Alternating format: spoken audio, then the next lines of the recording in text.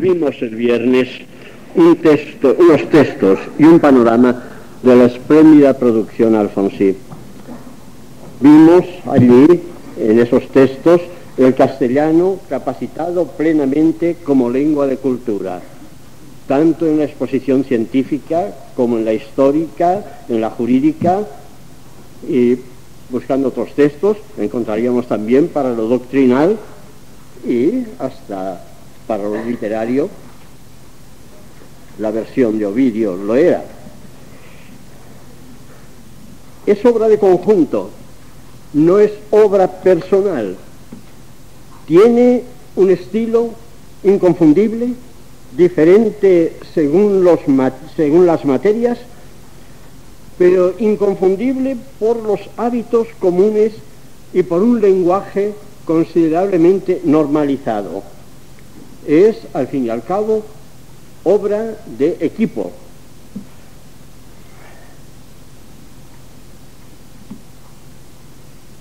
Es que no hay escritos personales de Alfonso el Sabio.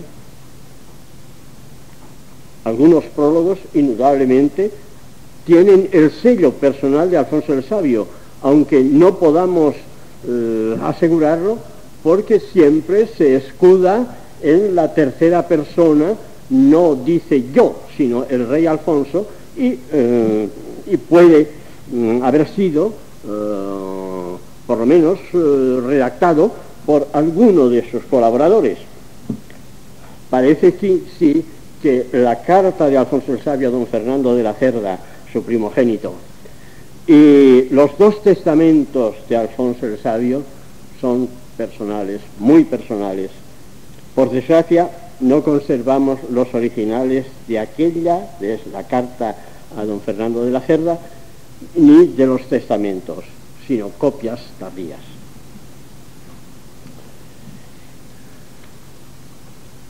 Hoy vamos a ocuparnos de la aparición de estilos personales, pero antes necesitamos hacer algo de cuadro histórico. La labor cultural emprendida por Alfonso el Sabio fue continuada en parte bajo sus seguidores, bajo sus sucesores.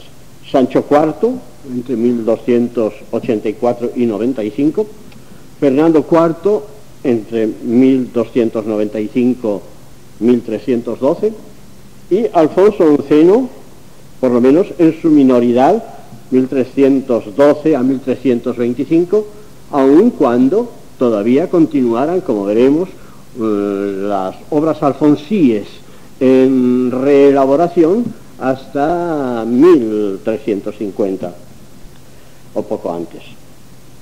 Continúa la producción cronística, la primera crónica general se termina después de 1289. Hay un pasaje eh, correspondiente a la época de la, historia de Ramiro I en que se nos da la fecha en que se estaba componiendo. Y después de esa fecha de 1289, Diego Catalán ha probado que hay fragmentos eh, que corresponden a fechas posteriores. Ah, ya entrado el siglo XIV, y algunos, algunas páginas o algunos fragmentos de la crónica general eh, corresponderían ya hacia 1312 o 13.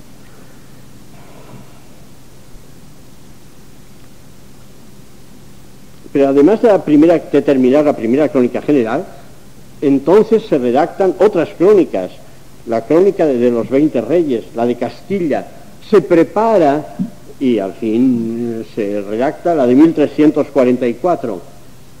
Y otras obras históricas eh, que no se refieren a las crónicas de España, como es la gran conquista de ultramar, la historia, historia de las cruzadas.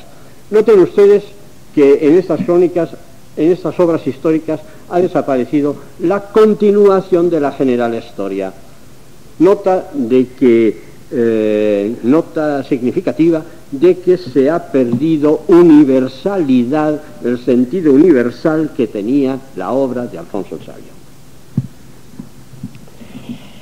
Continúa la producción jurídica, El códice de la primera partida, conservado en el Museo Británico, parece haber salido de la Cámara Real hacia 1290, en el reinado de Sancho IV. Y la redacción definitiva de las restantes partidas parece haberse acabado ya bajo Alfonso XI. Eh, el ordenamiento de Alcalá en 1348 marcaría el final de esa elaboración. Continúa la producción didáctica político-moral con los, con los castigos y documentos del rey don Sancho,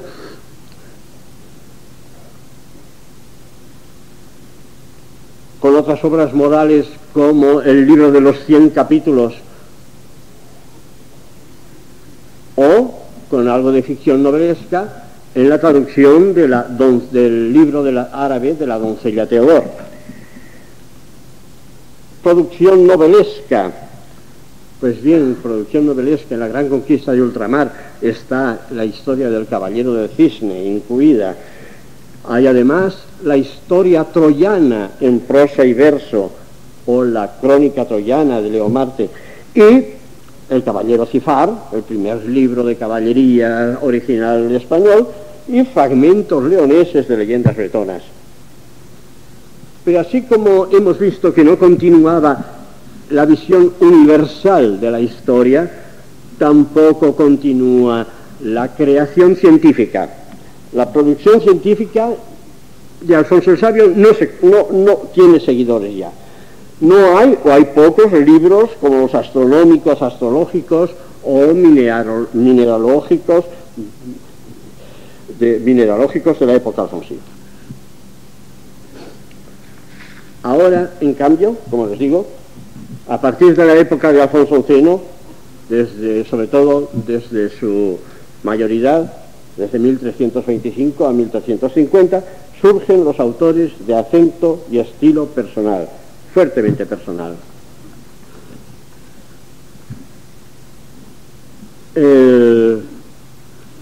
primero, bueno, probablemente, no tenemos una certeza absoluta para decir que don Juan Manuel empezara a escribir antes que Juan Ruiz Arcipreste de Ita. Sabemos que el libro de Buen Amor tiene una redacción de 1330. De eh, don Juan Manuel sabemos que en 1326 compone ya el libro del Caballero y el Escudero. Pues bien, don Juan Manuel era muy niño, tenía dos años cuando murió Alfonso X. No fue infante. No sé por qué eh, los eh, historiadores de la literatura, al cabo de los años de haber hecho notar Menéndez Pidal que don Juan Manuel no era infante, insisten y se oye por la radio de vez en cuando, y se oye por la televisión, y se oye por todos los medios de desinformación mm, que, poseemos. Pues bien, eh, don Juan Manuel no fue infante, infantes eran solo los hijos de reyes, entonces, hijos de reyes. Y don Juan Manuel, bueno, antes habían sido hijos de nobles en general, los infantes de, de, de Carrión, los infantes de Lara, pero esto pertenecía a un pasado. En la época de Alfonso el Sabio y de sus sucesores, infantes son los hijos de reyes. Y don Juan Manuel era nieto de rey, hijo de infante.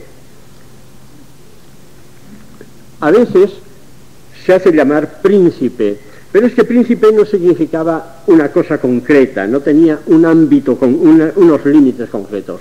Príncipe era un término que podía emplearse para cualquier gran señor eh, que fuese de la alta nobleza, sin especificar si era eh, un rey, si era un duque, si era un conde, etc.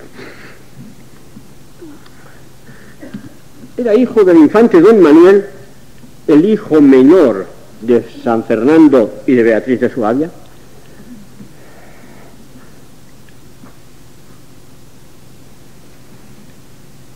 casado en segundas nupcias con doña Beatriz de Saboya. Eh, don Juan Manuel es, por lo tanto, un hijo tardío. A los dos años se queda sin padre, a los eh, ocho años se queda sin madre y recibe la educación de Ayos. De Ayos que debieron educarlo muy bien, porque al parecer, según las descripciones que él mismo hace, dedicaba la mitad de la jornada hábil al estudio y la otra mitad al deporte.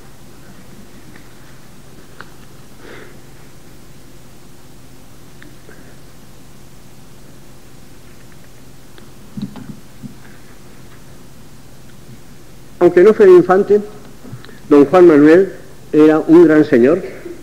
Él mismo habla de cómo eh, podía desde Peñafiel hasta Murcia eh, recorrer eh, toda Castilla haciendo, descansando, haciendo jornada en cada uno de sus castillos o de sus señoríos.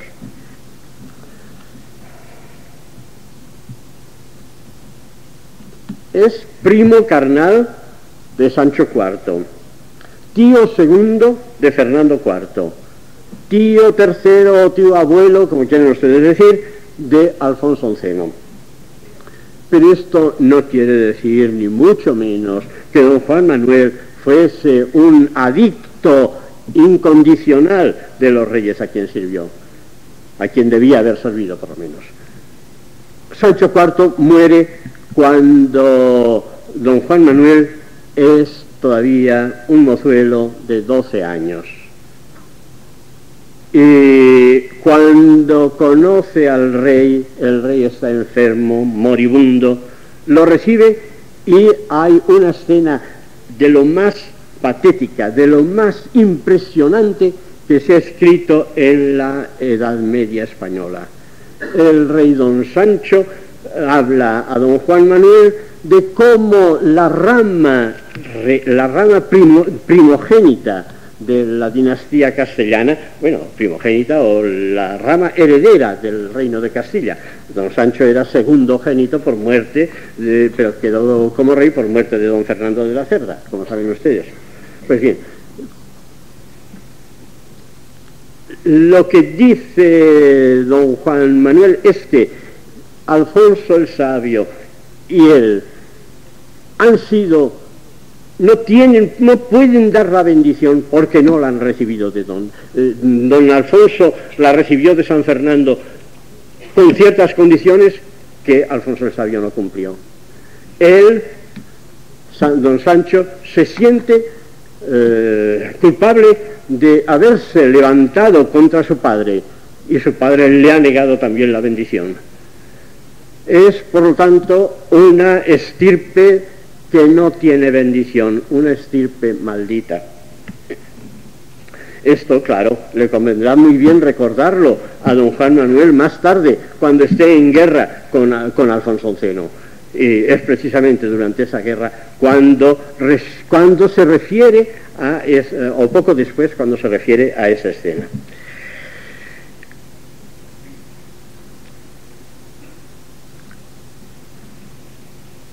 Las turbulencias entre la nobleza, empezando por los infantes, claro, y los reyes, habían comenzado ya en tiempos de Alfonso el Sabio. Recuerden ustedes que Alfonso el Sabio da muerte a, su, eh, a uno de sus hermanos porque ese hermano lo ha traicionado. Y en la misma, eh, durante el reinado de, de Alfonso el Sabio, la la cuestión de la herencia, de la, de la herencia entre los hijos del primogénito, los infantes de la cerda, y el segundo génito, don Sancho, da lugar a una primera guerra civil en que don Alfonso tiene que eh, refugiarse en Sevilla y acudir al auxilio del rey de Marruecos. Y esto sigue durante toda la juventud de, don Juan Manuel y eh, el último episodio importante de esta contienda en su vida es la guerra que sostiene contra el rey Alfonso X, cuando el rey Alfonso X había prometido casarse con la hija de don Juan Manuel, con doña Constanza, eh, se habían celebrado los esponsales, había habido las bendiciones, pero como la hija de don Juan Manuel no tenía aún 15 años, debía esperar, había que esperar tres para la consumación del matrimonio. Y en esos tres años el rey cambió de parecer y buscó una boda real, no con hijo de infante, sino con la hija del rey de Portugal. Entonces don Juan Manuel le declaró, se, desnaturó, es decir, consideró que quedaba roto todo vínculo que le obligara a una obediencia al rey que había faltado su palabra y que le había inferido una afrenta grave. La guerra continuó eh, durante tres años y al cabo de ellos consiguió eh, don Juan Manuel que su hija que había que, su hija Constanza, que había quedado en toro en rehenes, fuese libertada y que a él el rey le confirmase el, ser adelantado del reino de Murcia y de la frontera. Esto es lo que él llama la satisfacción que consiguió al cabo de esa guerra.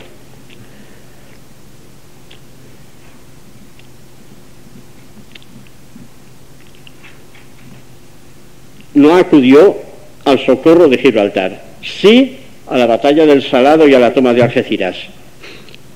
Pero solo a título póstumo logró que otra hija suya, Blanca, fuese reina de Castilla por haberse casado con don Enrique de Trastámara por manejos de la amante de Alfonso Unceno, doña Leonor de Guzmán, cuando Alfonso XI había muerto ya. Bien, mm, me he detenido algo en este cuadro de la vida española, de la vida castellana en la primera mitad del siglo XIV, para que comprendan en qué ambiente vive don Juan Manuel, cómo encontraremos en su obra un constante sentido de cautela, de precaución frente a las asechanzas de los demás, como hay un sentido de prudencia y de recelo frecuentemente en su obra, y cómo hay dentro de este mundo cambiante la necesidad de, encontrar algo sólido. Don Juan Manuel se encuentra en una sociedad que empieza a desmoronarse. Él está en un estado social difícil, muy difícil, el de los hijos de infantes que por serlo aspiran a más y no siempre pueden. Él hablará en una ocasión de lo que son eh, eh, esa situación de los hijos de infantes, eh, en un pasaje muy pintoresco.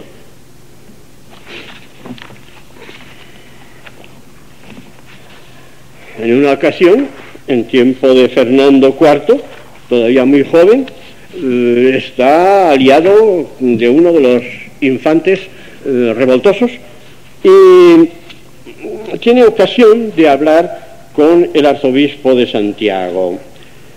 el arzobispo era muy buen hombre, de muy buen entendimiento, de buena palabra, en manera de departimiento de placer, así como amigos, comenzó llegó a decir en lenguaje gallego por esta manera, Don Joan, mi señor y mi amigo, bien vos decimos en verdad que no vemos muchas historias en muchas crónicas que nos, que nos veíamos, habíamos visto muchas historias y muchas crónicas y siempre fallamos en ellas que los fillos de los infantes fueran muy bien si fueran mejores. Estaría muy bien que fuesen mejores de lo que son. Y nunca fallamos que fueron muy buenos. Y aún los fillos de los infantes que ahora son en Castilla, parecenos que es que si maravilla non fuere, non querrán facer mintrosas las escrituras. no querrán hacer mentirosas las historias, seguirán por el mismo camino que los anteriores hijos de infantes.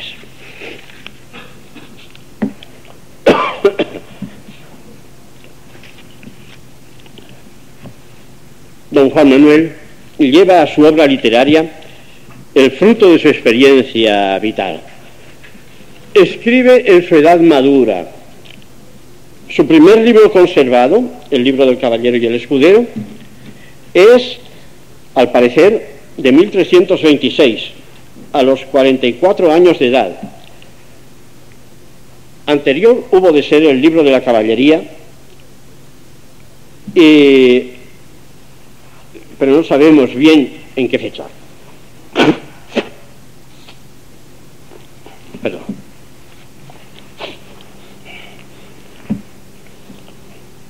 El libro de los estados, la primera parte, es de 1327 a 1330, cuando tenía de 45 a 48 años de edad. Posterior es el, libro, en fin, eh, el libro del Patronio del Conde Lucanor entre 1328 y 1335. El libro de las armas de 1337 y los dos últimos, el prólogo general y el tratado de la ascensión, de la asunción, perdón. El tratado de la asunción parece ser la última obra porque no la menciona en ese prólogo general a sus obras. El prólogo general hubiera sido un texto escogible, pero me parece que es demasiado conocido y he preferido buscar otro que, se conociese menos. En el prólogo general muestra la preocupación por la transmisión de su obra. ¿Cómo se transmitirá? ¿Qué infidelidades habrá en las copias? ¿Cómo deformarán su pensamiento y su expresión? Y cuenta una anécdota que se refería a un trovador catalán, rosellonés, de Perpiñán, un caballero, trovador, que había compuesto una canción bellísima, que había tenido un gran éxito, y un buen día, pasando por la calle, oyó que un zapatero la cantaba. El zapatero la cantaba deformándola, destrozándola.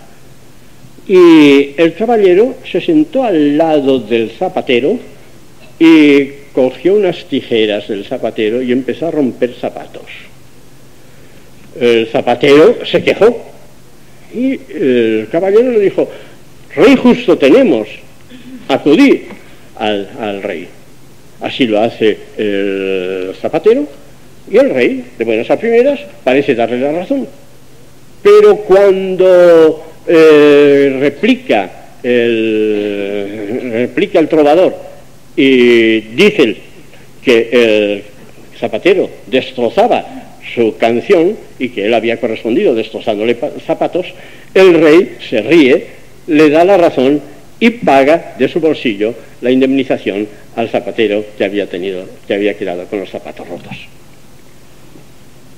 Pues bien, esa anécdota es compañera de otra cosa que nos dice en el prólogo, que como es muy frecuente que, las, eh, que en las copias se cambien unas letras por otras, o unas palabras por otras, o se olviden pasajes, etcétera, etcétera, él deja un volumen que ha corregido él mismo a los eh, dominicos de Peñafiel. Peñafiel era un castillo, el castillo más eh, eh, famoso de don Juan Manuel, ese castillo hoy conservado que tiene una proa como la de un, como la de un barco, ese castillo espléndido. Bien, pues mm, lo deja pidiendo que nadie le achaque una falta sin haber comprobado en el, manuscrito que él deja corregido de su mano que esa falta estaba en ese manuscrito. ¿Qué quiere decir esto? Hay De una parte sí, cuidado por la retransmisión de su obra, pero por otra parte sentido de la responsabilidad personal del autor. Que no le hagan decir una, una cosa que él no haya dicho, que no deformen su pensamiento en materias que pueden ser importantes, porque don Juan Manuel no, trata solo de dar historias como en el maravilloso Conde Lucanor, sino moralejas como en ese libro, y, y, no solo moralejas, sino a veces una visión general de su saber acerca del universo y acerca de la vida y destino de los hombres.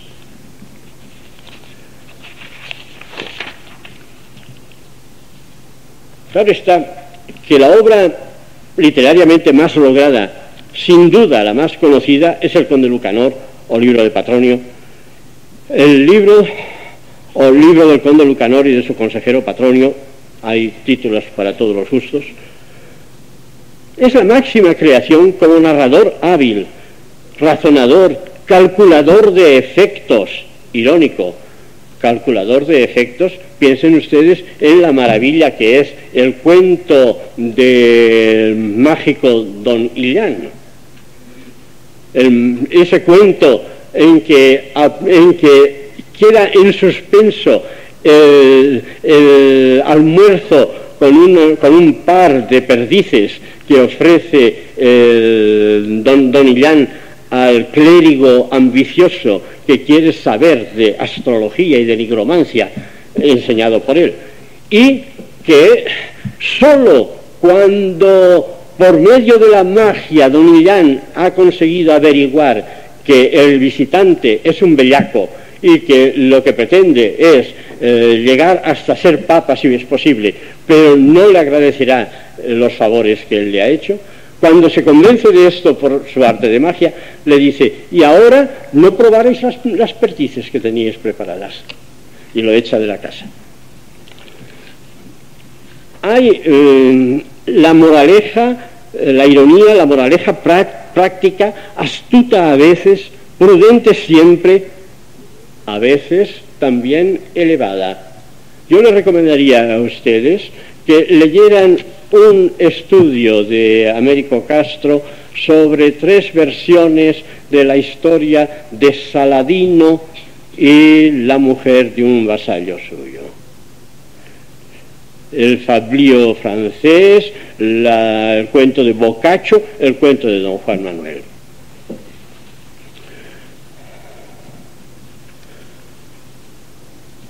O que leyeran ustedes el, cuento del conde Lucanor sobre don Pedro Meléndez de Valdés, que afirmaba siempre, aún ante las mayores desdichas, que era lo mejor que había podido ocurrir porque esto era la voluntad de Dios. Ahora bien, hay otros libros suyos donde, es, donde da la visión personal imborrable, como esa entrevista de, con el rey don Sancho en el libro de las armas, o donde expone sus puntos de vida ante el mundo, sus puntos de vista ante el mundo y la vida, ante la sociedad en que vive, ante los problemas últimos y supremos del hombre. Don Juan Manuel tenía relación estrecha con la casa de Aragón, con los reyes de Aragón.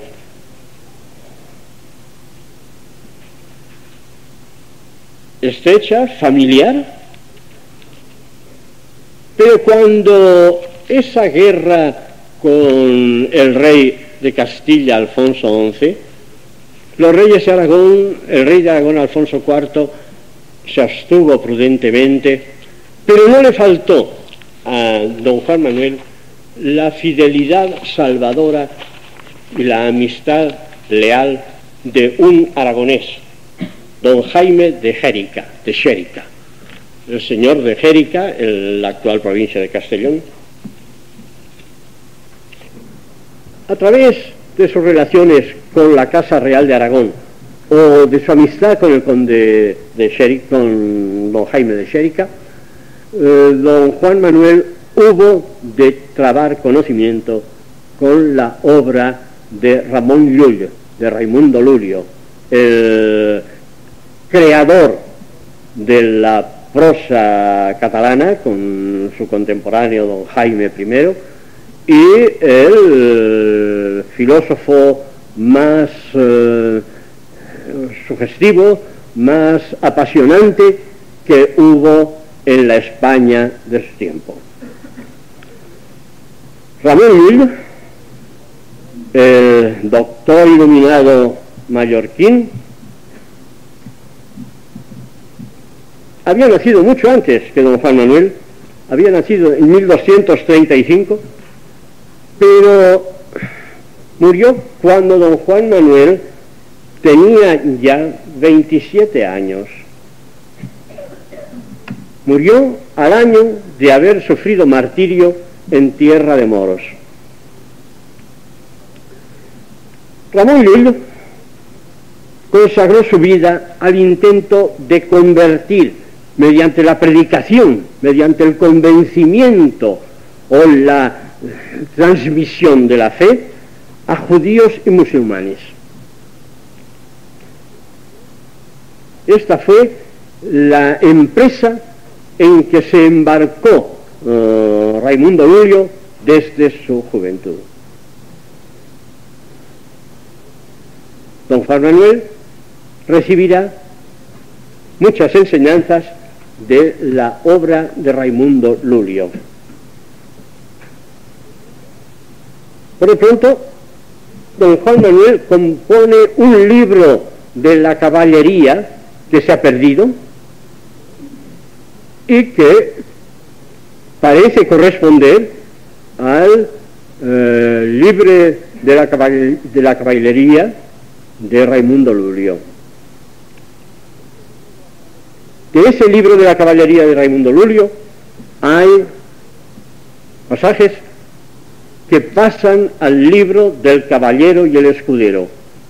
Seguramente más que el pasaje claro que hoy conservamos, otros de la parte primera de este libro de don Juan Manuel que se ha perdido, que se han perdido. Otro libro de Raimundo Lulio era el libro del gentil y de los tres sabios. Libro del gentil y de los tres sabios, que tiene una tradición medieval importante, la tradición judaica representada por la obra de Yehudá Halevi, el Kuzari.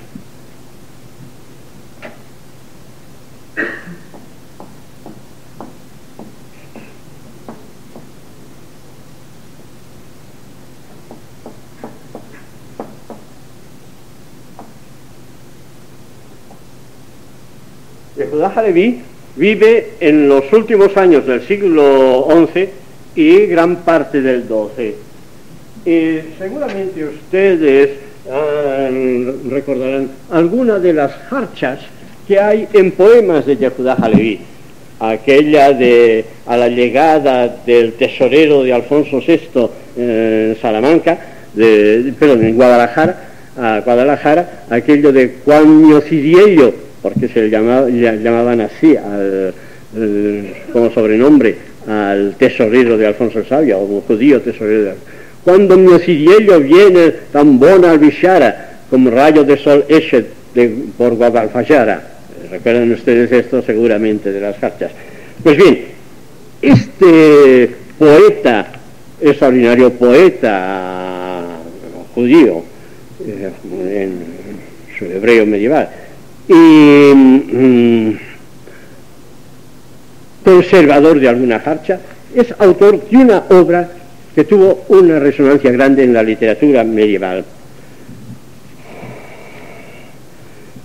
Un libro que se titulaba en hebreo, traducido al castellano, Libro de la prueba y del fundamento en defensa de la religión menospreciada.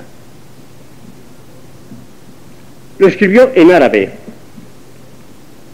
y después esa obra fue traducida al hebreo y en el siglo XVII se tradujo al castellano por obra de uno de, un judío eh, residente en Ámsterdam, en la judería de Ámsterdam, la misma donde, de donde salió el filósofo Spinoza.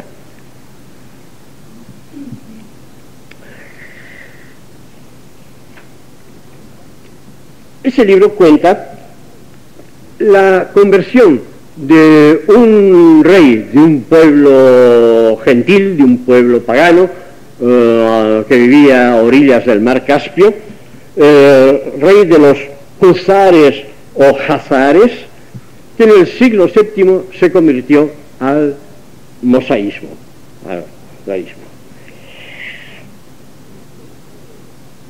Después de haber consultado sobre las explicaciones del mundo y de la vida a un filósofo griego, a un cristiano, a un maometano y por último al judío, que es el que le convence y, eh, y logra que se adhiera a la doctrina mosaica.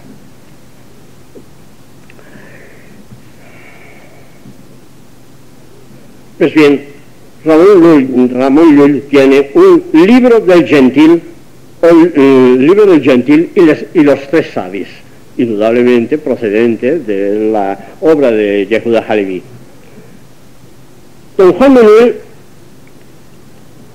en los catálogos de obras de don Juan Manuel que daban distintos manuscritos perdidos, o el manuscrito que hoy conservamos, o en menciones que hace don Juan Manuel de sus, propias, de sus propios libros, hay eh, la mención de un libro del, gentil y de un libro de los sabios, probablemente son el mismo libro, sería una reproducción tal vez del Kuzari.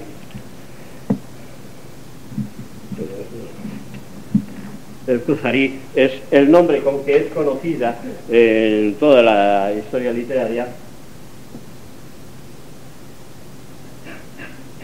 la obra a que me he referido de eh, Yehuda Halevi.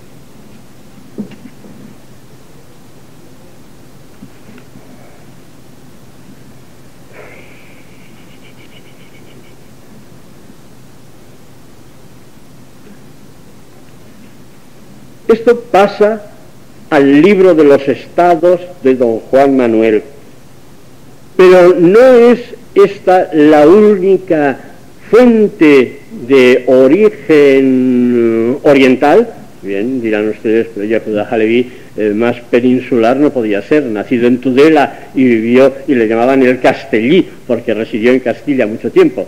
Pero de todos modos eh, es la tradición mosaica, la tradición hebrea, venida a través del mundo musulmán y que pasa después a Castilla.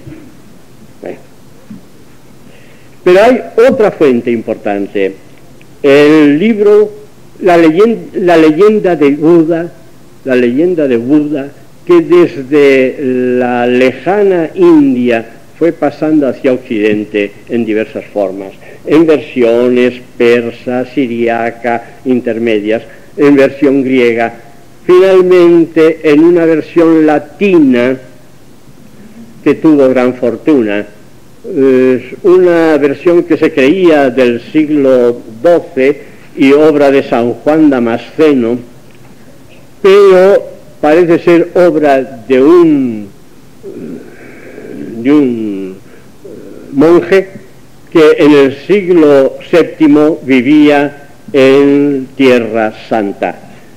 Esa historia de Buda cristianizada tiene el nombre de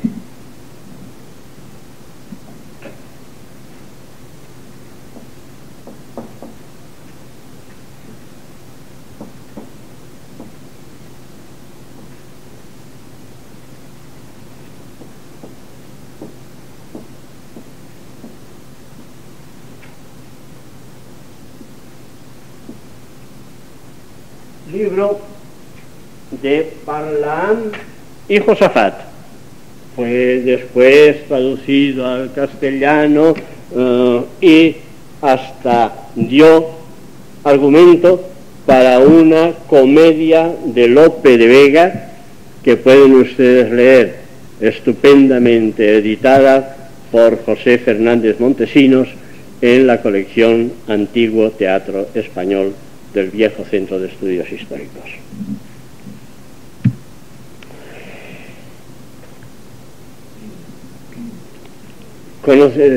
Seguramente eh, muchos de ustedes conocen la leyenda de Buda. Sakyamuni, príncipe heredero del trono, mm, es objeto de un aislamiento grande en un palacio lleno de riquezas y de deleites para que no conozca lo que es el dolor, lo que es la enfermedad, lo que es la muerte. Pero llega un momento en que este joven, con su educador, eh, sale a la calle y va teniendo una serie de encuentros. El encuentro con un ciego, el encuentro con un leproso, el encuentro con un viejo y finalmente el encuentro con un cadáver en un cortejo fúnebre. Y entonces Sakyamuni, Buda, Buda después, se pregunta por lo que es la muerte y al conocer esto resuelve abandonar las pompas mundanas y hacer vida eremítica y dedicarse a la, a la perfección del, y a encontrar la paz del espíritu. Bien, la leyenda de Buda en la versión de Barlam y Josafat se cristianiza y naturalmente hay la conversión al cristianismo del príncipe que, eh, eh, como ven ustedes, tanto Barlaam como Josafat tienen, eh, son nombres que tienen resonancias bíblicas. Uno piensa en Balaam y Josafat, pues bien, el rey de, el rey de los hebreos. Vamos entonces, si les parece a ustedes, a leer los textos y después haremos algún comentario todavía sobre ellos.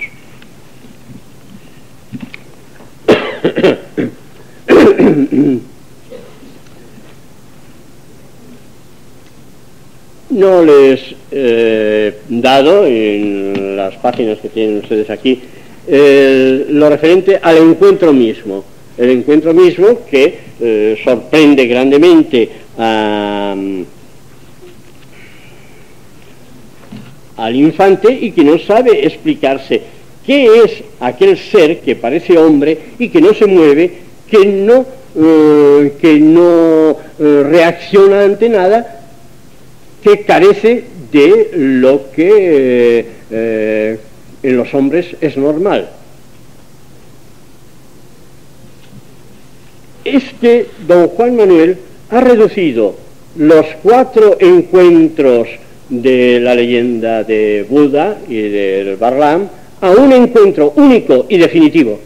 El infante, la primera vez que sale a la calle, se encuentra eh, con el acompañado de su ayo, se encuentra con un cortejo fúnebre y con gentes que lloran. Y eh, sorprendido se acerca y ve el cadáver.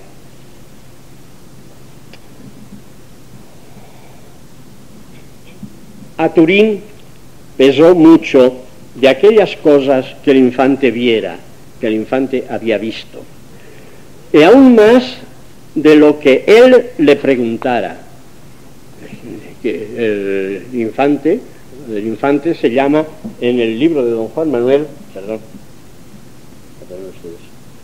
en el libro de don Juan Manuel el rey se llama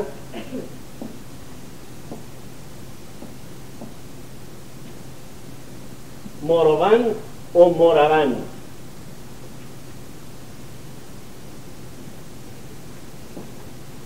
Indudablemente en recuerdo del nombre tan frecuente en el mundo árabe, Merwan.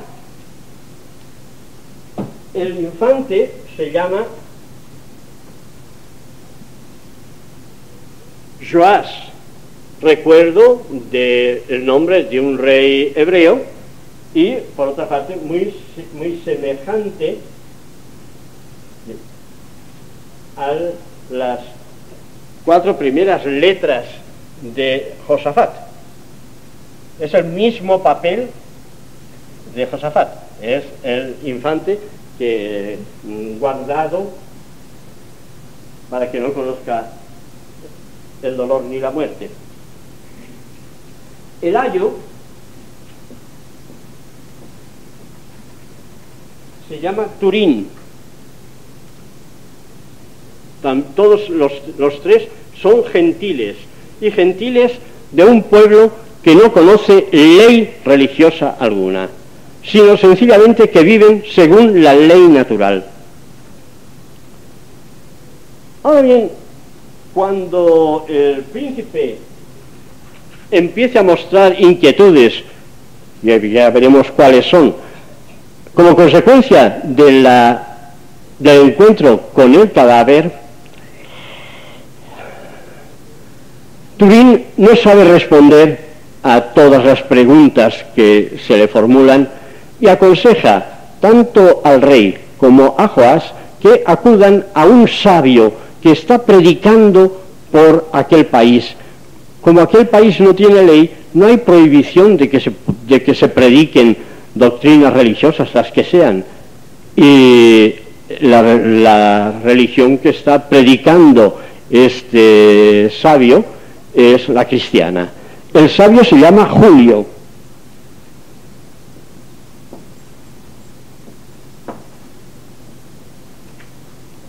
Da, da la casualidad de que ha sido Ayo en sus años pasados, en sus años pretéritos, de un don Juan, caballero, rico hombre, gran señor, en Castilla. Y de esa manera, don Juan Manuel se proyecta en su obra a través de los supuestos recuerdos de Julio. Hay una gran cantidad de alusiones a la vida, a los hechos, a las ideas, a las sentencias de don Juan Manuel.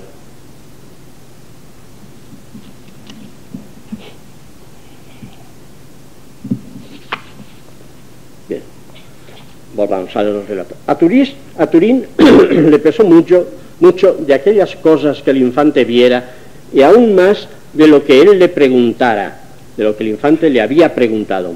Hizo todo su poder por le meter en otras razones el sacar de aquella intención. Mm, puso todo lo que podía en hablar de otros, de otros asuntos y sacarle de aquella, eh, de aquella preocupación, de aquel intento de averiguar lo que era el cadáver. Pero al cabo, tanto le afincó el infante, con tanto ahínco le insistió el infante, que no pudo excusar del decir, de le decir, con apócope del pronombre le. Mm, muy poca apócope encontraremos ya en don Juan Manuel, salvo en el caso de le y se. Que no pudo excusar del decir alguna cosa dende, dende de allí, de aquello. El dende era un, un adverbio pronominal como es el eh, francés un. E por ende le dijo, y por lo tanto le dijo, Señor, aquel cuerpo que vos allí viestes era hombre muerto. Bien, una advertencia habría que hacer sobre este viestes y todas las terminaciones de perfecto, persona, vos, que encontrarán ustedes con la terminación tes no es el vulgarismo tan corriente hoy de tú dijiste, tú hiciste, no. Es la persona vos. Y esa S es herencia del latín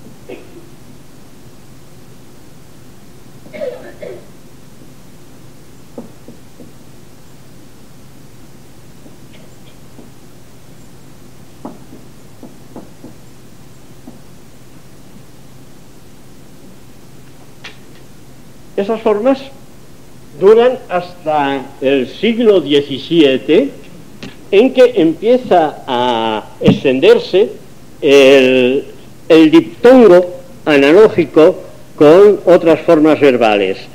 el diptongo de hacéis, tenéis, eh, hiciereis, viniereis, vinieseis, etc.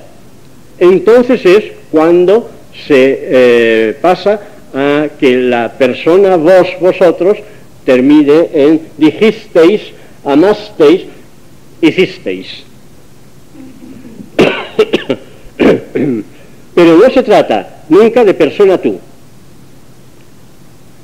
En Hispanoamérica, en, la, eh, en los países eh, y zonas donde eh, domina el boseo, se conserva también pero en, este, en el boxeo americano hay además, como saben ustedes, la eh, unión de formas de vos y de formas de tú. Vos, pero te, tuyo. Vos a vos, pero te y tuyo.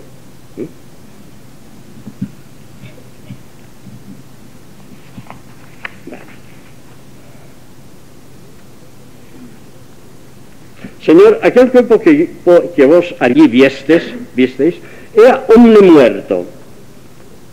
Y aquellos que estaban en derredor de él, que lloraban, eran gentes que él amaban, que lo amaban, en cuanto era vivo, mientras estuvo, mientras vivió, mientras estaba en, vivo.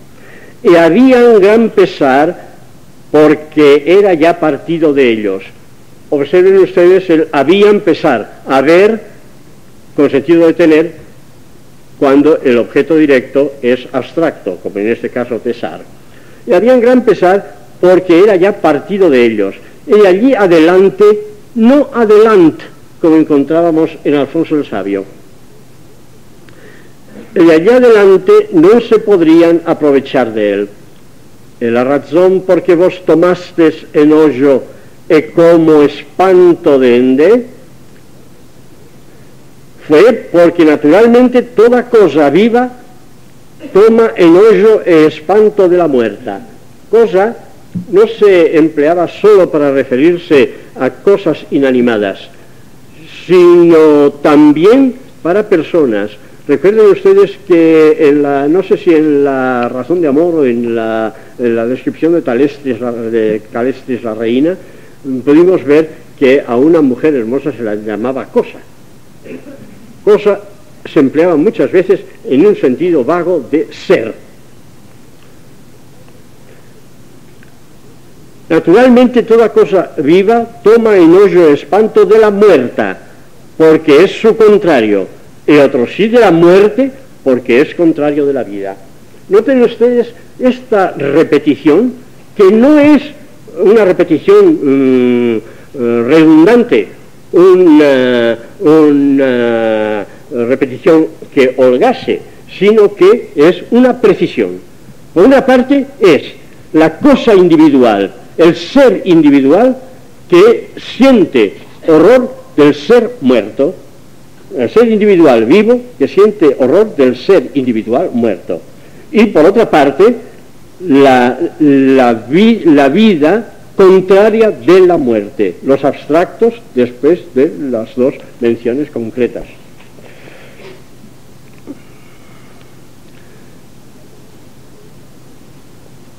Cuando el infante estas razones oyó, fue ya más maravillado de esto que el dicho, que de lo que antes viera, y por ende dicho, Turín, pues si aquel es cuerpo de hombre e non face ninguna cosa que hombre debe hacer, ¿qué mengua ha en sí porque lo no puede hacer? ¿Qué mengua en sí es? ¿Qué le falta para poderlo hacer? ¿Qué es lo que no tiene? Señor, dijo Turín, mucho querría que dejase de hablar de, en esta razón, que a esto no vos tiene pro ni vos cumple de cuidar en ello.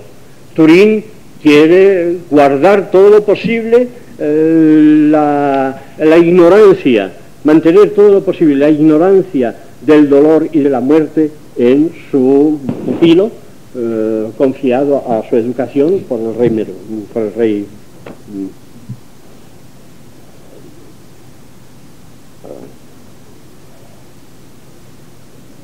Turín, dijo el infante, mucho me maravillo de esto que, dicedes, pues me criaste, me mostraste cuando más, más pues me criaste, es decir, desde que me criasteis, desde que empecé a tener la, a ser educado por vos, me mostraste cuanto yo sé. Eh, en las cosas que yo de vos aprendí, hay muchas que no son tan maravillosas ni tan extrañas como esta.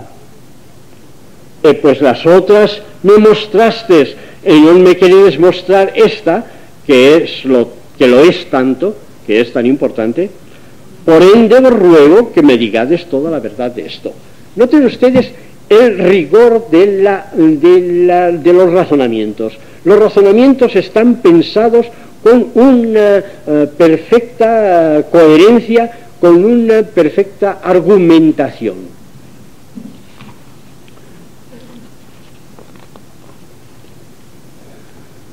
Don Juan Manuel, en esos, en esos años en que aprendía eh, y estudiaba la mitad de la jornada para dedicar el resto a la caza, a los deportes, eh, habría aprendido no sólo el latín, que ya cuando escribió se le había medio olvidado, estaba muy lejano, pero le quedaba algo, sino también habría estudiado retórica y dialéctica.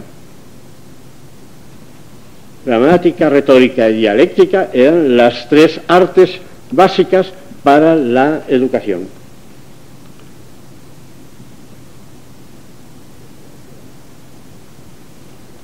E bien creo que si me decides otras palabras o razones encubiertas, que vos las entendré y habré de vos querella. Que me daré cuenta de que son mm, argumentos falsos, falsificados, de que son engaños, y me quejaré de vos. Casi el amo o el servidor o el consejero del Señor entendido, amo era como ayo, ama era también la que cuidaba de niños, pues el amo en este caso es el ayo. Casi el amo o el servidor o el consejero del Señor entendido le dice palabras encubiertas o maestradas, hoy diríamos con un horrendo eh, eh, terminacho de televisión o de radio manipuladas, o de, o de, o de polémica o de polémica política, ¿verdad? Eh, pues bien, esta mm, manipuladas o hace unos años se empleaba mistificado con el mismo sentido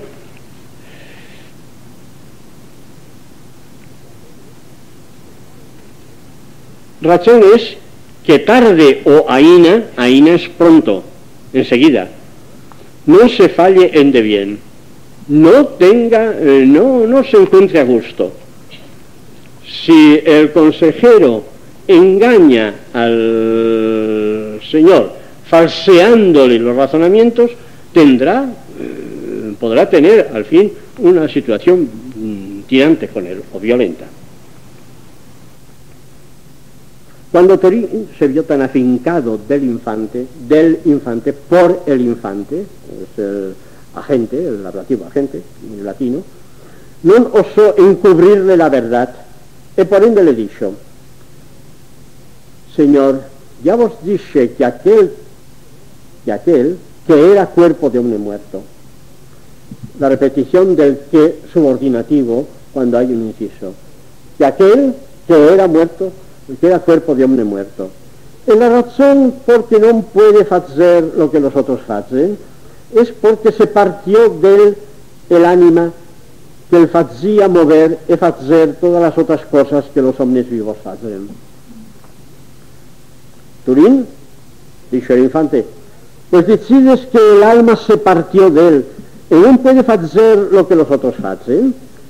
Quiero que me digades, pues tan gran daño es, eh, pues tan, tan gran, daño y tan gran mengua le vino en partirse el alma de él, ¿por qué la dejó partir de él? ¿Cómo la dejó partir si era tan, tan importante para su vida? Señor Infante, dijo Turín, mas esto que decides no puede ser, quiero decir, no es pertinente al caso, no tiene sentido. Que lo más que ella, el alma, puede fincar en el cuerpo, puede quedar en el cuerpo, es en cuanto en él dura la calentura. La calentura no es la fiebre, sino sencillamente el calor, el calor vital. Y la humedad natural. Don Juan Manuel, en el libro del Caballero y el Escudero, cuando el escudero empieza a preguntarle al caballero anciano eh, por cuestiones del de, universo y por cuestiones teológicas, el caballero le dice que siente mucho, pero no va a emplear palabras técnicas, porque él no, tiene dominio del tecnicismo científico y sabe muy bien que las, eh, que las palabras eh, tienen, su, eh, tienen su precisión. Ahora él hablará lo más claramente que pueda con términos que, con términos que son de todos cultos que son de todos. Pues bien, esto es lo que hace don Juan Manuel. Don Juan Manuel introduce muchos cultismos, vamos, introduce, emplea muchos cultismos, pero son los cultismos que pueden estar al alcance del eh, hombre de su tiempo que tuviera una cierta, una mínima cultura. Eh, son mm, tanto la calentura como la humedad natural, eh, serían términos que empleasen los físicos, los médicos, los naturalistas, pero eh, también eran inteligibles para todo el mundo. esta calentura y humedad, humedad natural, del día que nace el hombre hasta que muere, cada día mengua en una cosa en el mundo que la pueda acrecentar no hay nada en el mundo que pueda aumentarla. Que el comer ni el beber no acrecenta en la calentura, que no da lugar a que suba la temperatura.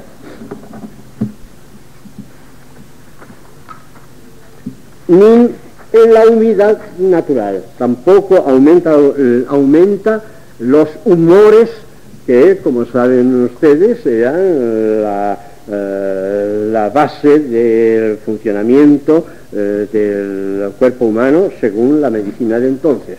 El humor sanguíneo, el humor biliar o melancólico, el humor eh, linfático o flemático.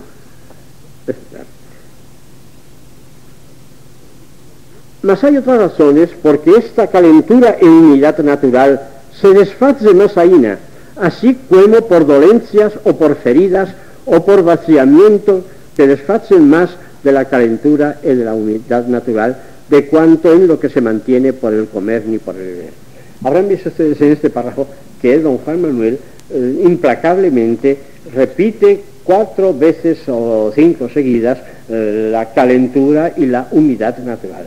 Mm, don Juan Manuel no se priva de esta insistencia, de esto que puede parecernos a nosotros machaconería, pero para él es la manera de que no quede nada sin que nada impreciso. Es un afán de precisión y repite los mismos términos porque ha elegido la palabra adecuada en cada caso. Don Juan Manuel nos dice que, eh, que escribe con los más fermosos latines que no son latines, sino palabras en general, eh, que, puede y que, eh, por otra parte, escoge la palabra. Y esto lo ha puesto de relieve Menéndez en varias ocasiones. Eh, don Juan Manuel no ofrece una riqueza de sinónimos grande, sino una repetición de la palabra que ha escogido como más significativa, como más representativa de un concepto. Busca la exactitud, la precisión, el rigor, más que la variedad.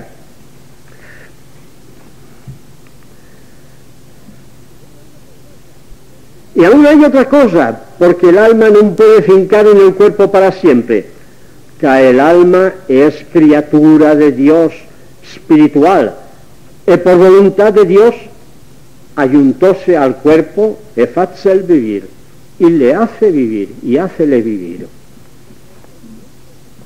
Y porque el cuerpo es compuesto de los elementos de agua, tierra, fuego y aire de los humores, el humor sanguíneo, el humor eh, melancólico, etcétera, etcétera. conviene que se desfaga, que se desintegre. Si es compuesto, se desintegra en sus componentes. Y otro sí, que porque es compuesto el, hombre de alma y del cuerpo, conviene que se desfaga, es decir, que se descomponga, que se desintegre en sus dos elementos. Cuando es voluntad de Dios, cuando Dios lo quiere. El alma, Él la puso, la puso en el cuerpo. es que la parte de Él, es decir, la separa de Él, la aparta de Él, finca el cuerpo muerto y desfácese, se descompone. Porque es corporal y compuesto. Y fincará así hasta la resurrección, que serán ayuntados el alma y el cuerpo. El alma, que es cosa espiritual, es simple, dura siempre, que no se puede deshacer. Bien, habría que eh, preguntar, sin duda, eh, por qué es el alma espiritual y simple. Espiritual nos, nos diría don Juan Manuel que es porque Dios la ha puesto y Dios es espíritu. De todos modos, la argumentación nos puede parecer que es una argumentación que precisa de una filosofía previa que así lo ha establecido y de una creencia que así lo ha establecido también. Pero dentro de esto, con estos dos supuestos como necesarios eh, para entender los argumentos de don Juan Manuel, los argumentos son de un rigor, de una linearidad maravillosa.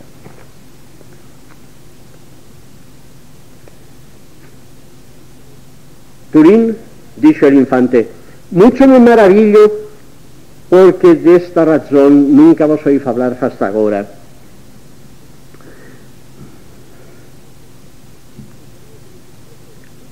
Y tengo que me hiciese muy bien tuerto el infante cree haber sido perjudicado, ha sido, ha sido objeto de un daño inferido por el silencio de su año. Y pues vos me mostrastes otras cosas que no eran tan aprovechosas, ni tan maravillosas, ni tan extrañas, extrañas, extraordinarias. Extraordinarias por su importancia, por su trascendencia, bien me debiera desmostrar esto. Por ende, vos mando que me digades verdaderamente qué fue la razón porque nunca me mostraste esto hasta ahora. Cuando Turín se vio tan afincado del infante, por el infante, no pudo excusar del decir, de decirle, del decir, del le decir, la razón porque hasta entonces no le hablara de este hecho. Y por ende le dicho, porque hasta entonces no le había hablado, sigue siendo el perfecto, pero ahora vamos a ver otros usos de, otros usos de ese tiempo. Señor, yo excusa, excusara de muy buena voluntad esta razón. Excusara es perfecto, pero ya no de indicativo aquí, sino de subjuntivo. yo hubiera excusado, hubiera evitado esta razón, hubiese evitado, si quieren ustedes, de muy buena voluntad esta razón, si pudiera, si hubiera podido. Que Señor, de modo que aquí tienen ustedes que al lado del uso de, mm, del tiempo cantara como pluscuamperfecto indicativo, como había cantado, hay este otro uso como pluscuamperfecto de subjuntivo, hubiera cantado. Todavía en la época de don Juan Manuel eh, estaba surgiendo ese tiempo compuesto que aparece ya algo en el siglo XIII y que no se generalizará hasta el 17 muy entrado o el 18.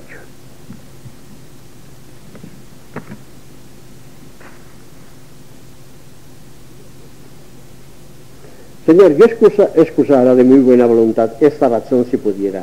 Que, Señor, vos debéis saber que el pesar es una de las cosas del mundo que más daño trae al cuerpo. Recuerden ustedes, que mucha tristeza, mucho, mucho pecado pon, según el arcipreste, ¿verdad?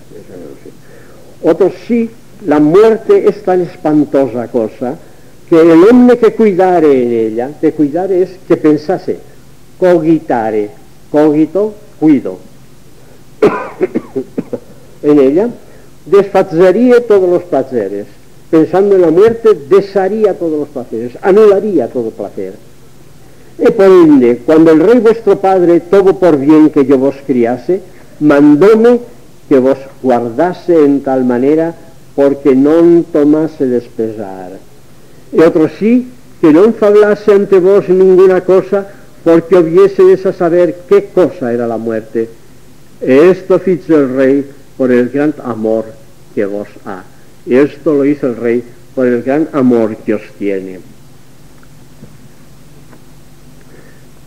Cuando el infante oyó aquellas razones que Turín le dijera, le dijera, le había dicho, pero como es tan inmediato, nosotros no diríamos cuando oyó las razones que Turín le había dicho, sino le dijo.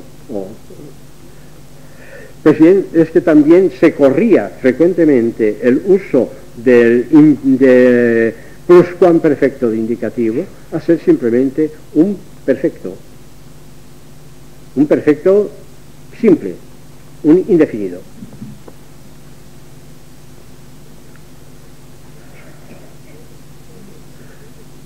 y otro sí todo que aquello hiciera su padre por amor que le había, que aquello había hecho su padre por amor que le, tenía.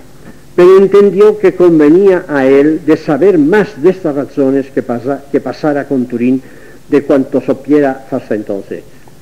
Por ende, dijo, el infante, bien vos digo que yo he entendido que estas razones que vos me decides, que son verdaderas, el día que por algunas cosas que yo veía, de que me maravillaba, pues quería preguntar, ¿por qué se siguen así?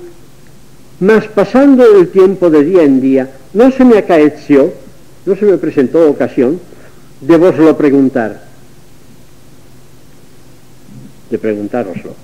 Mas pues en esta razón somos entrados, quiero vos lo preguntar ahora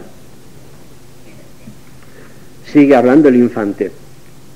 Yo vos veo que cuando me comenzaste a criar, que era yo muy pequeñuelo, así que veces podía andar ni hablar, a veces apenas, a veces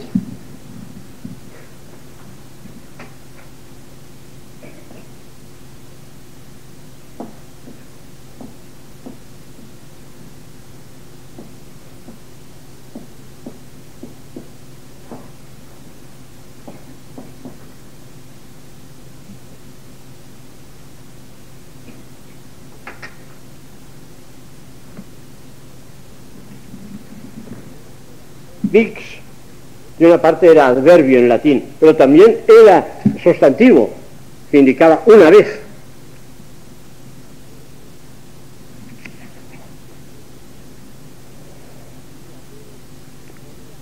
Así que apenas podía andar ni hablar. Y después, so criado, me he criado, es decir, he ido criándome, me he crecido, es el perfecto de criarse, de un verbo pronominal o intransitivo, no, en este caso es, es pronominal, soy criado. que se auxiliaban con el verbo ser. Así que so tan grande y tan recio como otro hombre cualquiera.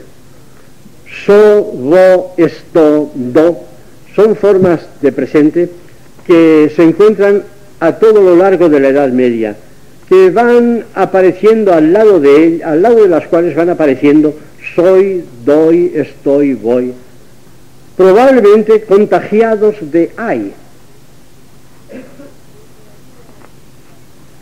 Pero todavía Garcilaso dirá, si como yo estoy ahora no estuviera, si como yo estoy ahora no estoy, sino estoy ahora no estuviera. Y, y todavía hay algún ejemplo más tarde de Garcilaso, hasta en Herrera.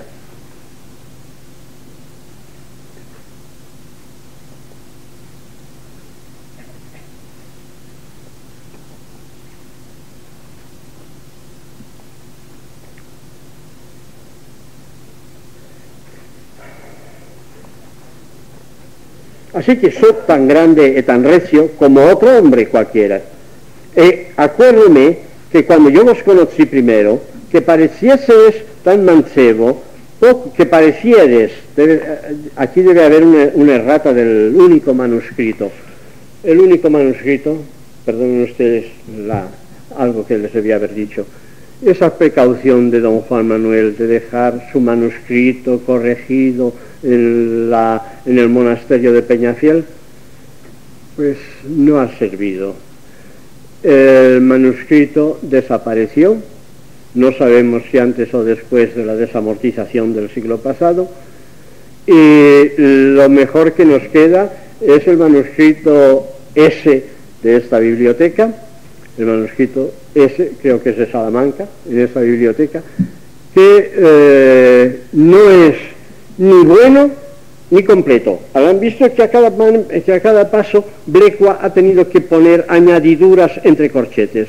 Es que son palabras o frases que omite el manuscrito y que hacen falta para el sentido del verso.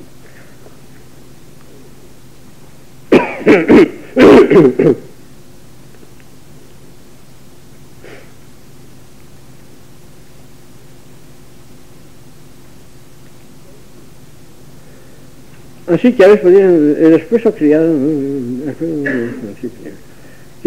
en lugar de que pareciese tan, tan mancebo, debe ser parecíais, pareciedes, pareciedes, que sobra el sé, que parecíais tan mancebo, poco menos que yo soy ahora. Y ahora veo que vos sois mudado, os habéis cambiado, como esa, esa mudanza dentro de sí, es una acción intransitiva, por eso se auxilia con ser y no con haber. Sois mudado mucho de aquella manera, o, porque es pronominal, porque puede ser os habéis mudado, habéis, os habéis cambiado. De aquella manera que cuando yo os conocí primero. Y otro sí veo que el reino padre, que parecía entonces de la edad que vos sois ahora, que es ya demudado en tal manera que sus cabellos, esos barbas, que eran entonces prietas, prietas, oscuras, negras, negras, que son mudadas ahora blancas. Eh, también los ojos, como los dientes, son demudados, y no parecen tales como solían. Y seméllame que cada día va falleciendo en él toda la su fuerza, el poder, en las obras de sus miembros, es decir, la agilidad, la capacidad de moverse y de obrar de sus miembros. Eh, eso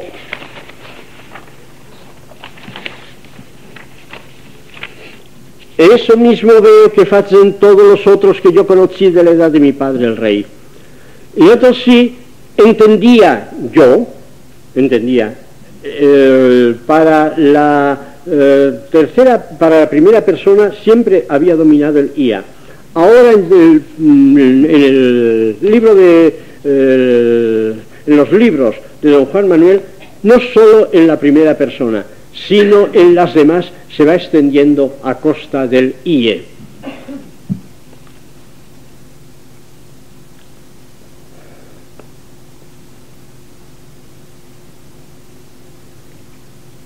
Y otro sí entendía que como el rey es mi padre y yo su hijo, que así él hubo padre. Y oímos decir de vos eso mismo, que hubiestes padre. Y veo ahora que después que me vos comenzastes a criar, que veo unos mozuelos aquí en mi casa, que decides que son vuestros hijos. Y leyendo todas estas cosas, la razón me da a entender que como quiere que el mi padre y yo hayamos mayor poder y nos fagan las gentes mayor honra que a los otros, que cuanto en el nacer y crecer e embellecer, que iguales somos de los otros hombres. Y que bien así contexteanos como a ellos, y aún tengo, que es, aún tengo, aún opino, aún creo, que eso mismo es en la muerte, que pues el rey mi padre engendró a mí, cierto es que otro engendró a él. Sigue, eh, como en otros textos que ya hemos visto, eh, sigue sin duplicarse el pronombre objeto eh, cuando es un cuando es mm, dependiente de, un verbo que previamente lo exigiría para nosotros.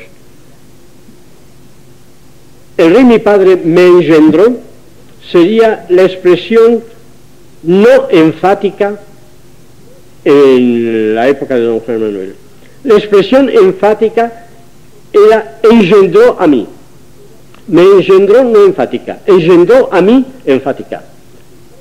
Pero las expresiones enfáticas son, les pasa lo que a la moneda. Con la inflación pierden valor. Pues bien, la expresión enfática, si se generaliza, deja de serlo y entonces necesita ser reforzada por otra, eh, por otra marca de énfasis. Y esa marca de énfasis fue la repetición del pronombre. A mí me dijo, a mí me hizo, a ti te lo cuento. En vez de te lo cuento a ti, eh, lo di, eh, etc.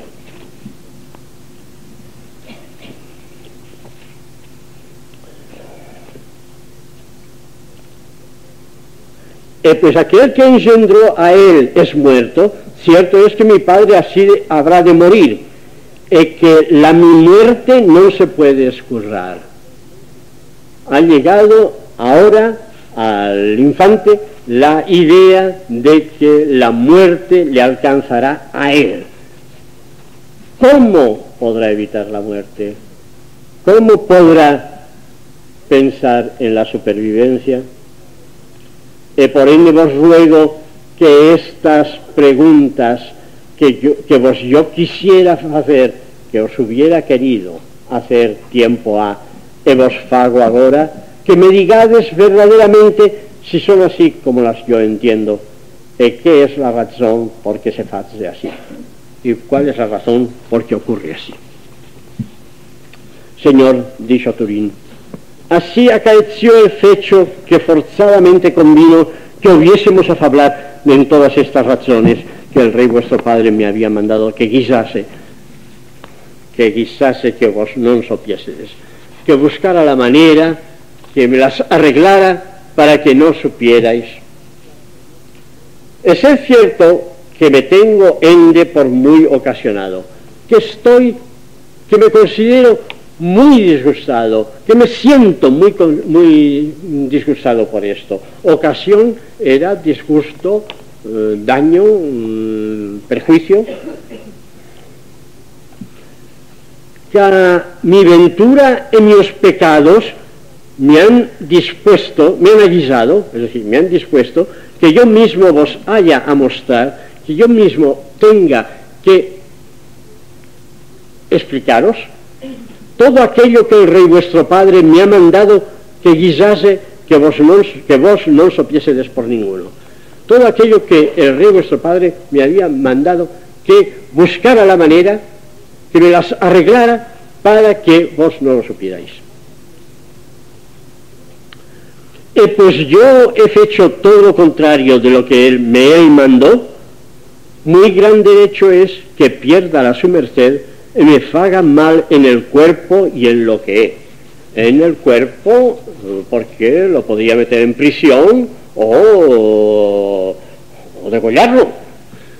En lo que es, porque podía quitarle los haberes, quitarle su hacienda, sus bienes. Turín tranquiliza al infante, eh, vamos a, saltar a la línea 21. E por todas estas razones non debedes saber recelo de todas estas cosas que son pasadas entre mí e vos, porque vos recelades que tomara pesar el rey mío padre. Que tomara o que tomara, como no hay puntuación en los, como no hay acentuación en los textos medievales, podemos pensar que es tomar, tomara, pero mejor tomará en este caso. Vos pensáis que el rey tomará pesar por lo ocurrido. Que a todas estas cosas que vos habéis dicho no son malas, antes son muy buenas. Y pues ellas buenas son, no fixestes vos mal en me las mostrar, ni demás, que vos no moviestes de vuestro grado. Y además, que no tomasteis la iniciativa, no moviestes de vuestro grado, sino por acaecimiento a hablar en estas cosas. Que vos no moviestes a hablar en estas cosas, entendamos. E lo uno porque el fecho non es malo en sí, e lo al porque me, non fue de vuestro grado, sino por acaecimiento, por ende non debedes saber ningún recelo.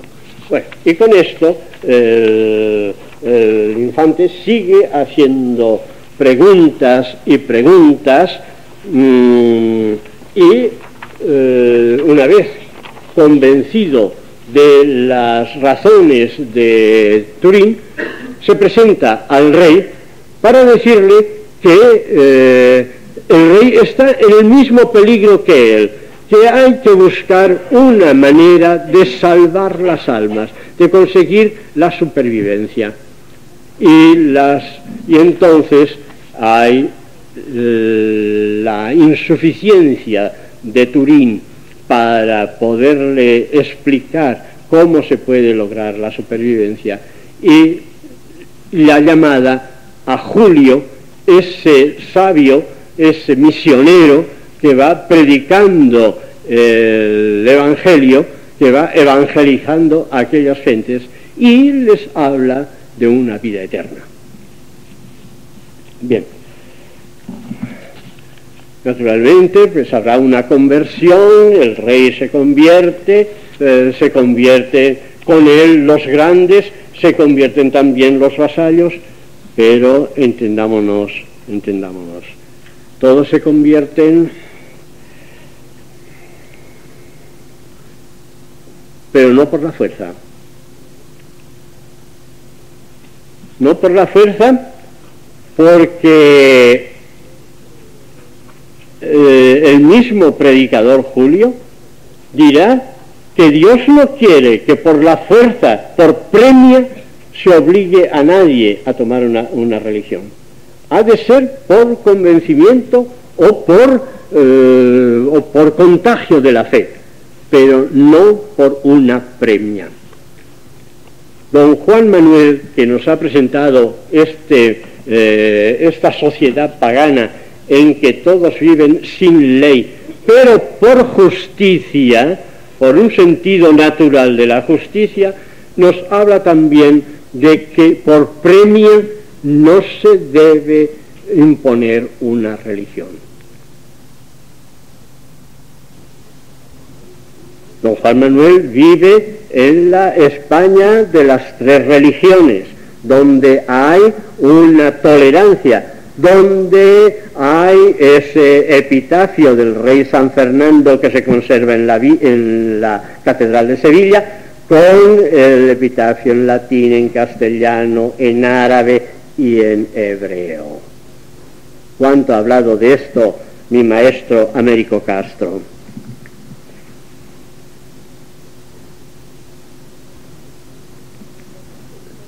Pero ¿por qué entonces hay guerra entre cristianos y moros. Julio tiene que explicarlo. Y lo explica diciendo que no se trata por eh, una cuestión de religión, no son guerras de religión, son guerras de recuperación. Los cristianos luchan contra los moros porque los moros han ocupado sus tierras. Los mahometanos han ocupado, por de pronto, España, España, han ocupado Tierra Santa. Entonces, por esa razón del recobro, justifica eh, Julio, o explica al menos, la guerra entre cristianos y musulmanes. Pero cuidado, no todos los que mueren en guerra con los moros son mártires que vayan al paraíso. Hacen falta ciertos requisitos. Hacen falta, hace falta que sea un sacrificio y que no sea ni en busca del dinero, del botín, ni en busca de la fama, ni con procedimientos brutales de matar a las gentes eh, vencidas o de forzar a las mujeres.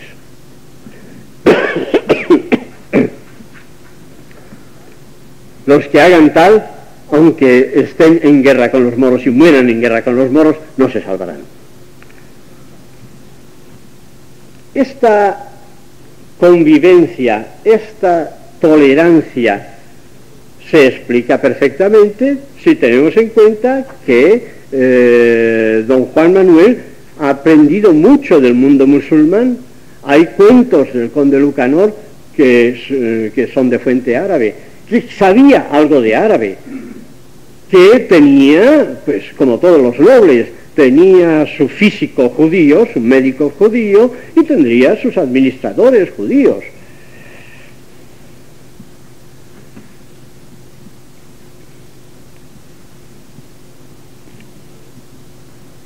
Pero eso va unido a otra razón de humanidad.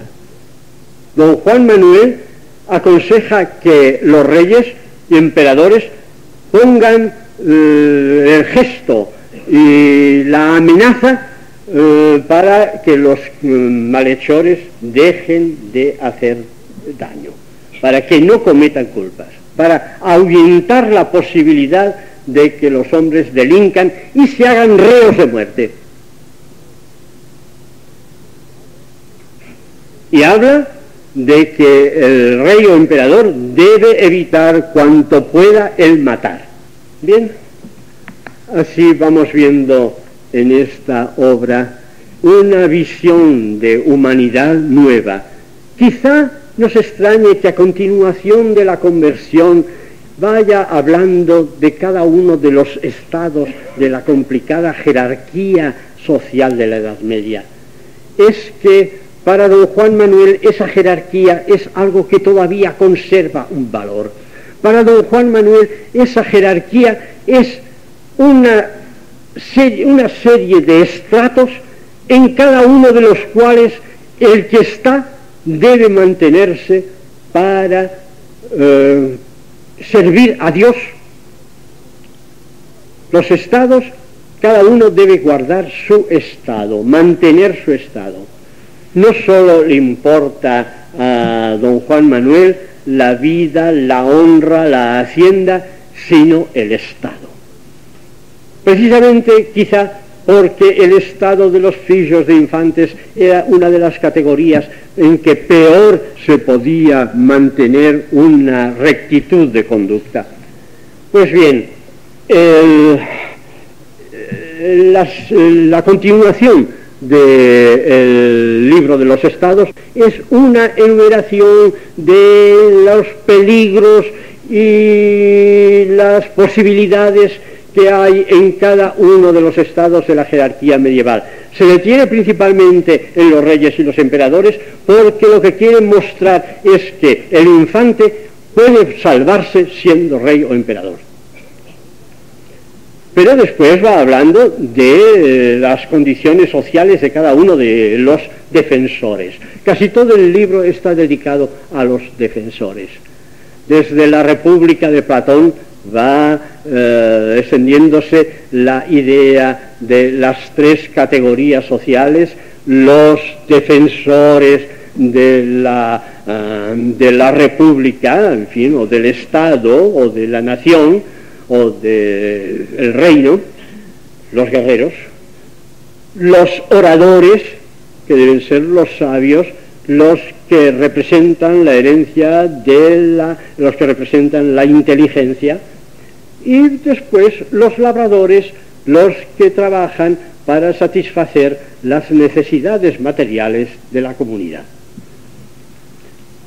Pues bien, la primera parte del libro de don Juan Manuel ocupa casi todo, se ocupa casi todo, desde la conversión del, rey y del infante hasta el, hasta el penúltimo capítulo de los defensores. A los labradores solo les dedica parte de un capítulo. ¿Y los oradores? ¿Qué son los oradores? Los oradores medievales son los clérigos. Y a los clérigos dedica la segunda parte íntegra del libro de los estados.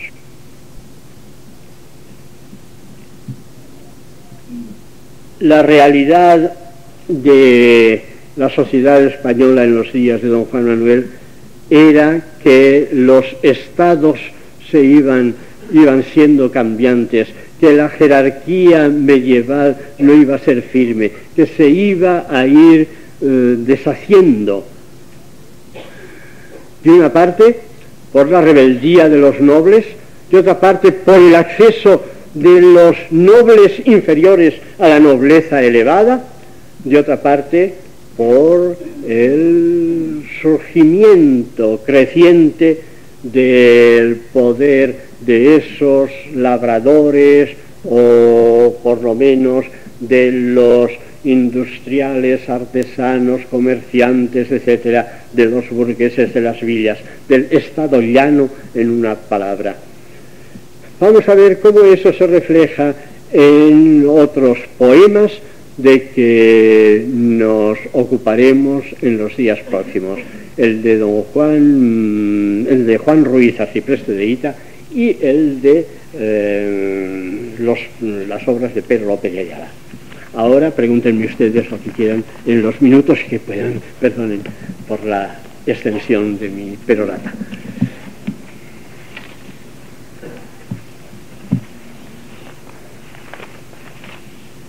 ¿Alguna pregunta? Dígame.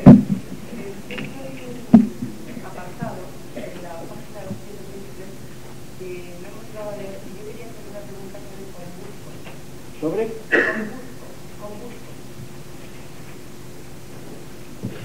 ¿En qué página dice? En la página 23. 23. No. Sí.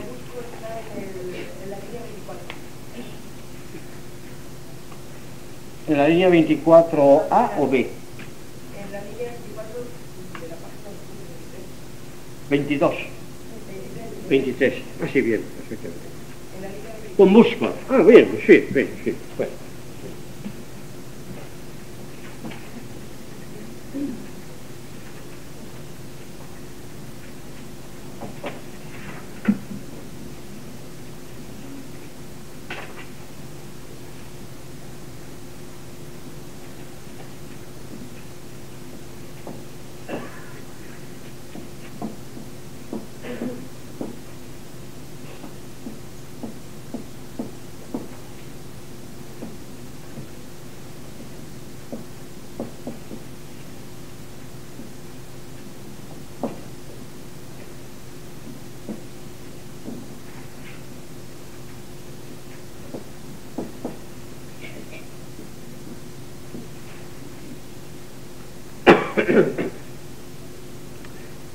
en latín había la anomalía, si quieren ustedes, de que la preposición fuese posposición en ciertos casos, concretamente cuando había un pronombre. Mm, dan distintas explicaciones hasta alguna propter honestitatem sermonis. Pero eh, el, concretamente en el caso de cum nobis,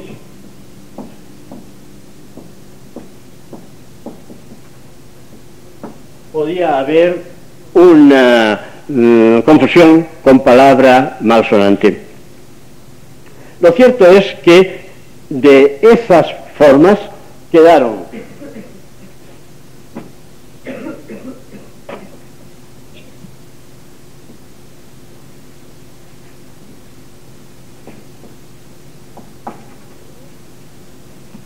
Mego, que se encuentra en las canciones de Amigo, eh, en textos gallego-portugueses medievales.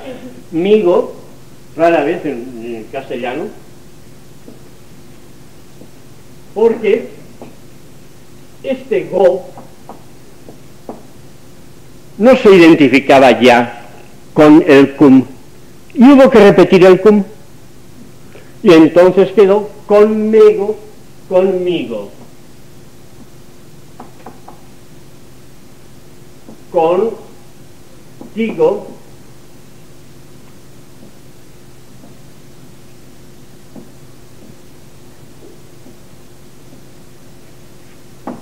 Fíjense ustedes en el italiano, meco, teco, seco, el italiano conserva las formas latinas sin alteración, sin duplicación. Consigo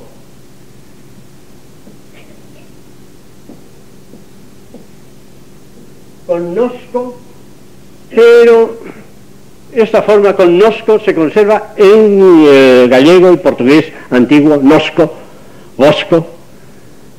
En castellano, del mismo modo que, se, que había una vocal alta, una vocal eh, extrema, en el caso de migo, tigo, sigo, porque poseían de mi, ti, si. En el caso de Nosco y Bosco, se, pasó, la O pasó a ser una U por ser la vocal alta, la vocal cerrada también. Por paralelismo con eh, migo, tigo, sigo. Y este con nosco pasó a ser con nusco y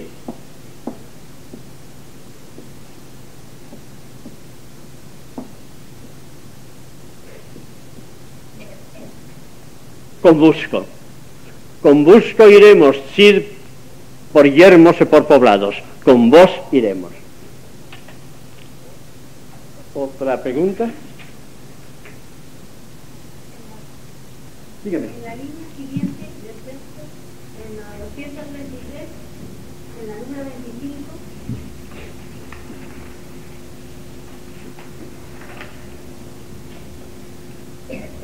La línea 20, eh, 25, el bien miente. ¿Podría explicarme esto? perdón. Sí.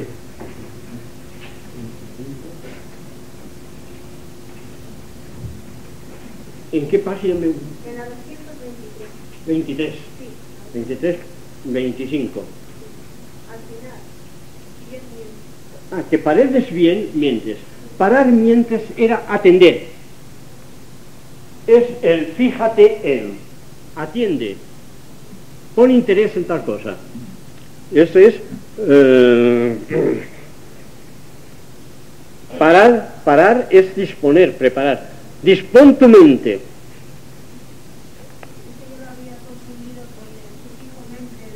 Sí, eh, a veces se, se confunde eh, y hay ocasiones en que mente aparece con la forma miente en Alfonso el Sabio y en, mucho- en muchos, muchos textos. Pero ya en Don Juan Manuel no es corriente. En el siglo XIV se va extendiendo cada vez más la forma mente. ¿Alguna? Dígame. La palabra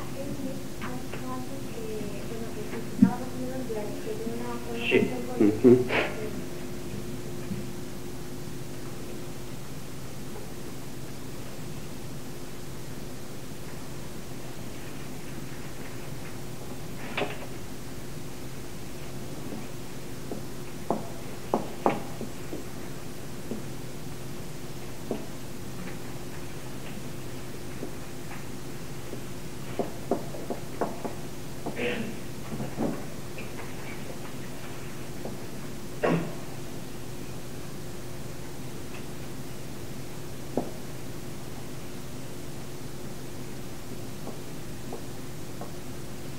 Ende venía de inde, simplemente inde, de allí.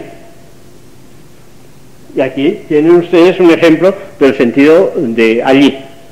Pero de ser de allí viene a tener también el sentido de procedencia causal.